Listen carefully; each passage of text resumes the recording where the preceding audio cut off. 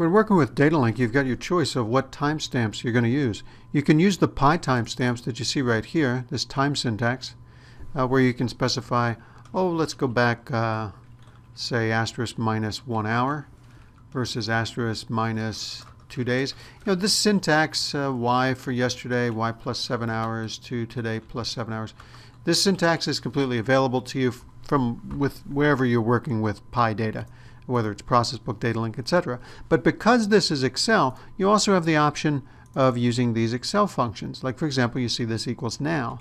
I can put this anywhere that I use this same type or this uh, the time syntax.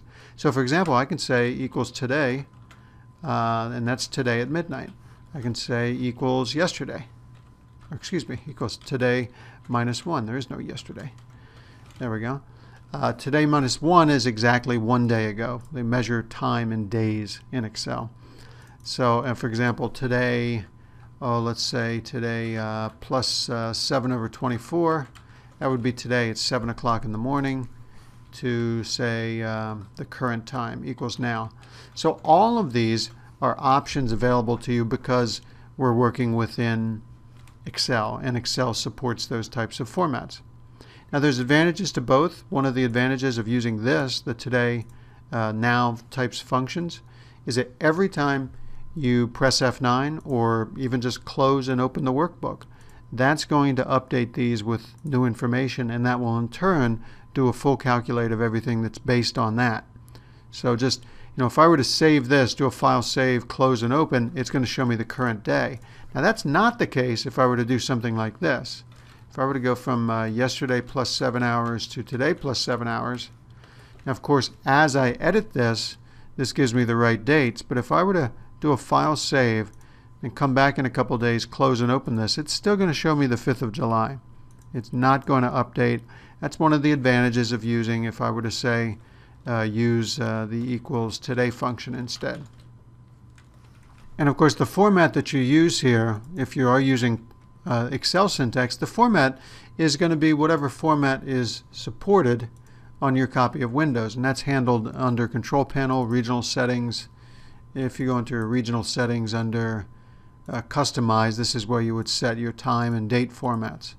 So we're gonna we're gonna recognize all those formats that you're using, you know, by default with Windows.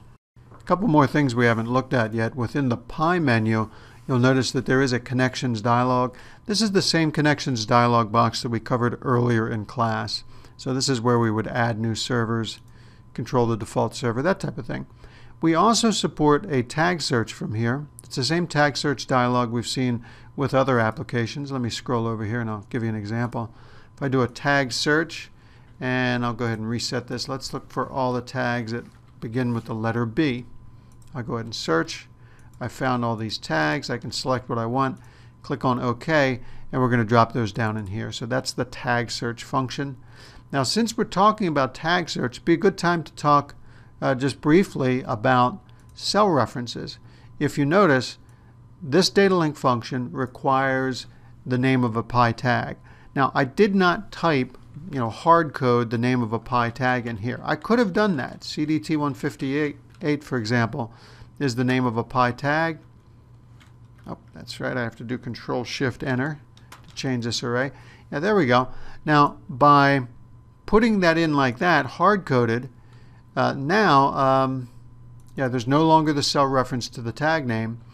And without that cell reference, uh, it basically means that you're stuck with whatever you first chose. And if we go back and we take a look at this, as you can see, it's actually put in the name of the tag. Okay. So when you first create this function, uh, generate this function using the dialog box, you can actually put in the name of a tag.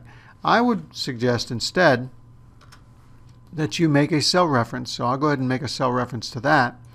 And of course the beauty of this is once you've made that cell reference now, all you need to do is change this to different pi tags and you'll get different results. So it just makes it a little bit more flexible. Uh, it's up to you. Of course, doesn't matter you know how you do this uh, the data is going to come out the same it's just a matter of flexibility. So all of these in this case and in most of this class you're going to see cell references. If we go over and we take a look at our, some of our samples Yeah, here's some of the samples. You know, for example, if I change this one cell reference to uh, level instead of temperature, now we see all those things that are based on that cell reference change in response. Because we're making cell references, we're not hard coding the names of pi tags. Now, what I just said about cell references to tag names, it's the same when it comes to start time and end time. You notice here, I've made cell references to the start time and end time. Again, I could have, when I first generated this function, I could have hard-coded some start times and end times, but I chose not to. And so now, you know, as, as a, you've seen me demonstrate, if I were to go ahead and change this to something else, that automatically updates.